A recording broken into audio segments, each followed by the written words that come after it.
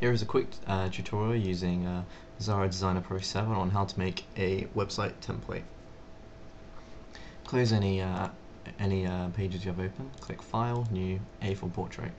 Once you have this open, you can then right click on the colors, click Options, and go straight to Units. Change the page and font unit to pixels. Press Apply.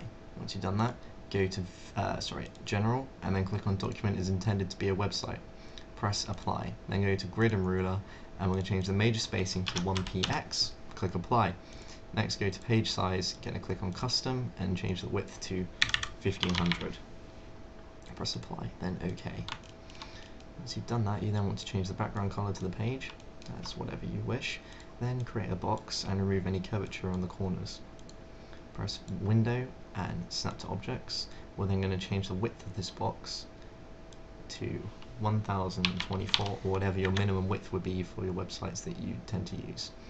Put it at the top of the page, press Ctrl Shift L and select within pages, horizontal position align centrally, press apply, close and change the color of the box as you wish and drag the height of the box to the bottom of the page.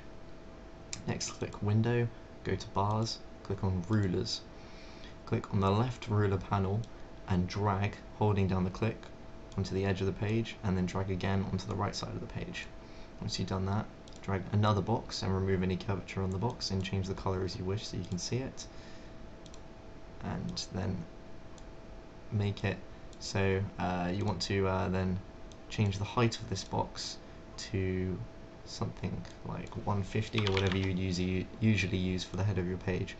Drag it to the top, change the width to the width of your minimum width, mine's 1024, then you want to click on the top ruler panel again, drag down to the bottom of that, and then you have another line here for your header. Last but not least, you want to draw another box on the edge of the page, make it bright so you can see it, remove the curvature again, change the height to 600,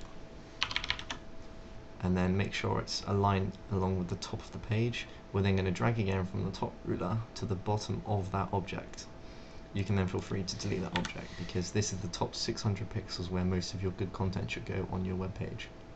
Once you've completed this, click File, click Save Template, and save the template as you need. Once you've saved it, close down the template that you created, and you're going to click File, New, and you can then open your template, and you'll always have this ready whenever you need to make a website. Thank you.